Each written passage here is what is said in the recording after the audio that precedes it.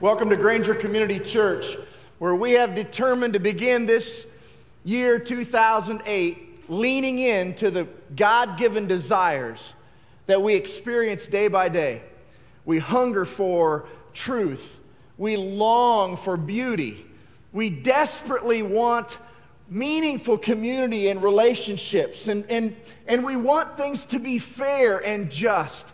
And rather than shrink back and say that these things, these longings, these desires may somehow uh, not have merit or not be worthwhile, we are leaning in this year at the beginning of the year and saying this these are God given desires for beauty and justice and truth and authentic, loving community. God gives us these desires. And you know what's wrong? You know what's wrong in the world today? It is simply this we want these things, but not enough. It's not that we want them too much, it's that we don't want them enough.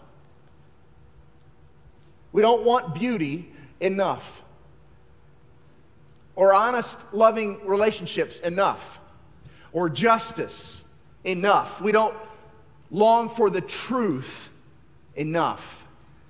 And so rather than lean back, we're going to lean in. And I want to ask you to want it more because it's from God. Beauty and truth and community and justice, fairness, it is, it is from God.